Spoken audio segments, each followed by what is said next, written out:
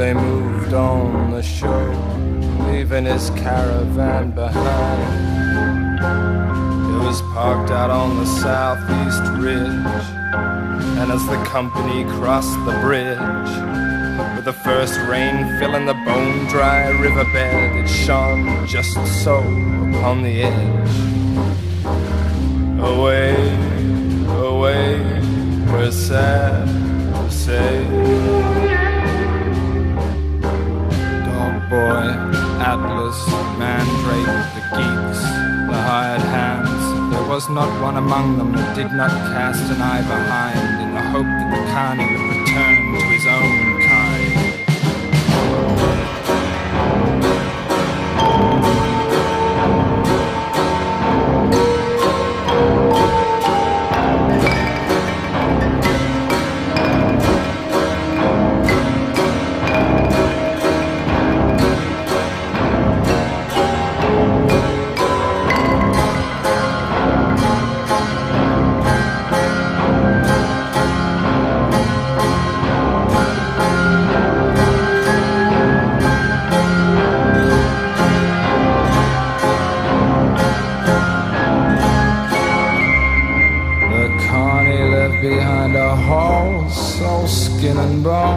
that he named Sorrow.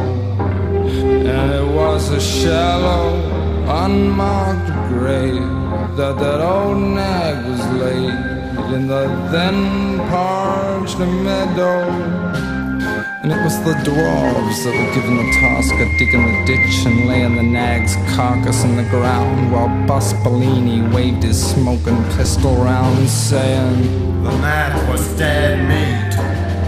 Afford to carry dead weight. while the whole company standing about, not making a sound, and turning to the dwarves perched on the enclosure gate, the boss says, There's this lump of crow bait.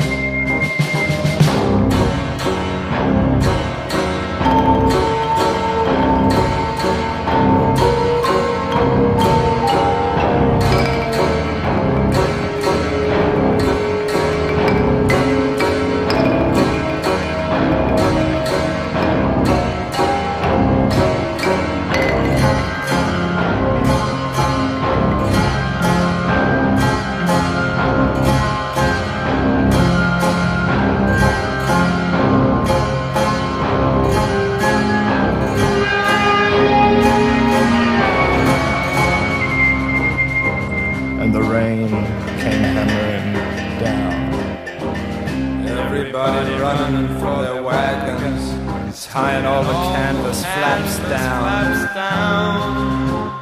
The mangy cats growling in their cages, the bird girl flapping and squawking around.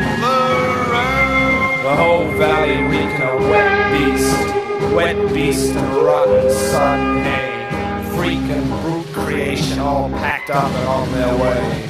The three dwarves peering from the wagon's hind. Moses says to Noah, Should have dug a deeper one.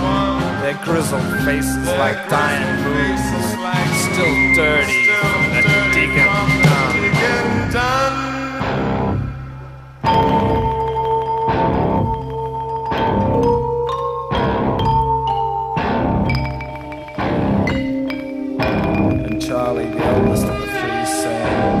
Guess the carny ain't gonna show. And they were silent for a spell, wishing they'd done a better job of burying sorrow.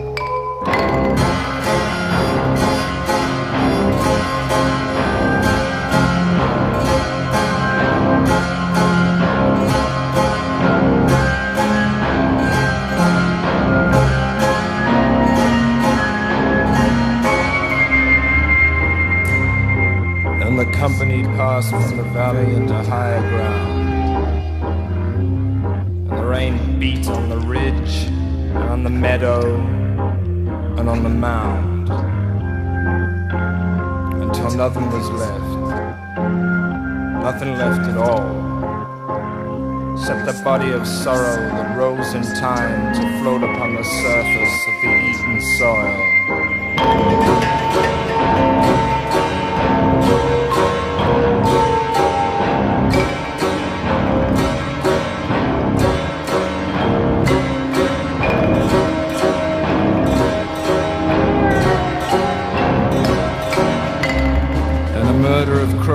Circle round.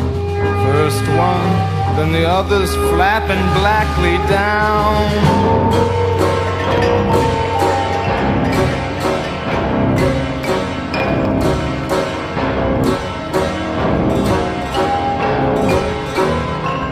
And the Carny's van still sat upon the edge, tilting slowly as the firm ground turned to sludge.